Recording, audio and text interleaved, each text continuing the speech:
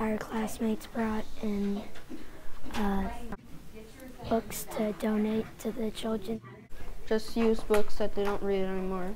I wrote um, those these posters to put up.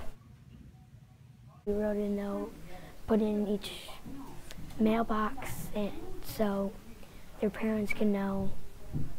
Everyone in our class got one slip saying that it goes from Monday to Friday.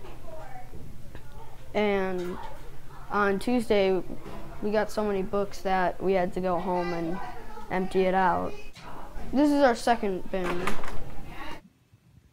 But I know that it's, it's a lot. 200.